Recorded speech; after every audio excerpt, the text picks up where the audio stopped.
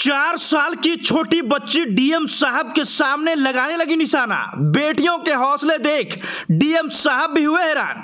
गौर से देख लीजिए इस तस्वीर को। जिस उम्र के बच्चे पूरे दिन खेल और कूद में बर्बाद करते हैं, वहाँ ये बच्चियाँ तीरंदाजी का कला सीख रही है। सोच लीजिए, किस कदर हमारा बिहार और हमारा देश आगे बढ़ रहा है।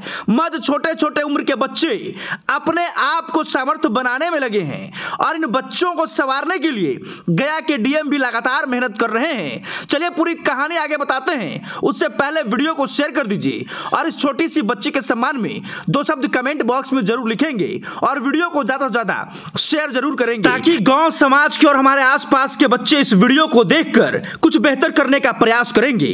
21 फरवरी 2024 को गया डीएम के द्वारा गया कॉलेज खेल परिसर में खेल भवन में जिम का उद्घाटन किया गया। जिला पदाधिकारी ने बताया कि जिम का सारा इक्विपमेंट लाया गया है। कुछ दिन पहले जिम का सारा सामान, उपकरण यहाँ आ चुका था, जिसे आज सेटअप कराकर उसे चालू कराया गया है। ये काफ़ी खुशी की बात है। अब खेलो इंडिया के बच्चों के साथ साथ आम लोग भी जिम का भरपूर प्रयोग करेंगे। यहाँ तीरंदाजी के बच्चों से भी बातचीत किया गया। यहाँ चार साल की उम्र वाले दो बच्चियाँ काफ़ी बढ़िया तरीके से तीरंदाजी कर रही है।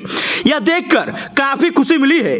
और तीरंदाजी में जो भी बढ़ावा या प्रोत्साहन देना होगा, उसके लिए भरपूर पूरी कोशिश एवं प्रयास किया जाएगा।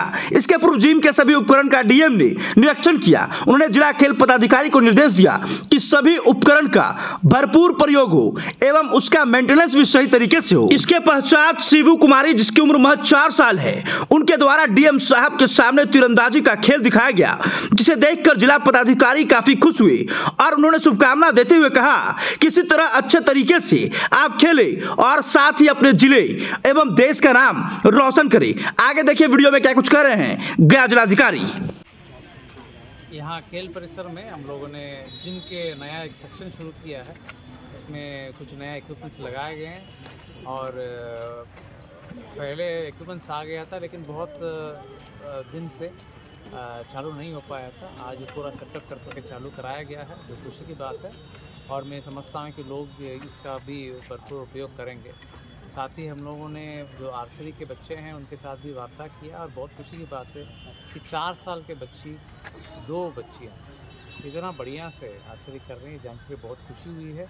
और आर्चरी में जो भी हम लोग बढ़ावा देना चाहिए हम लोग जो भी प्रोत्साहन और समर्थन देना चाहिए हम लोग ज़रूर कोशिश करेंगे कि सबको समर्थन और प्रोत्साहन मिलते रहे सर ये जो है देखिए इसमें एक सेकंड एक सेक्शन का जिम ऑलरेडी यूज़ हो रहा है और इसमें हम लोग एक समिति बनाने के लिए भी उन्होंने निर्देश दिया है। समिति बना करके उनके देख रेख में इसका इसके संचालन करने का निर्देश दिया है वो आगे की प्रक्रिया है।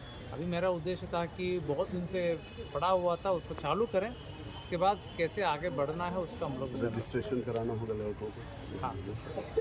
रजिस्ट्रेशन कराना होगा और अभी तो पब्लिक के लिए हम लोग ओपन किए हुए हैं लेकिन रजिस्ट्रेशन करा करके उसके बाद उसको यूज़ किया जा सकता है। लगी और दूसरी बात है जो आर्चरी के बच्चे हैं और खेलो इंडिया के बच्चे हैं उनके लिए बिल्कुल मुफ़्त रहेगा वो लोग आकर के कर सकते हैं।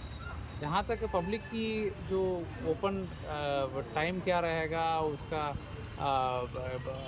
फ्री रहेगा या नहीं ये सब के लिए हम लोग आगे निर्णय करेंगे।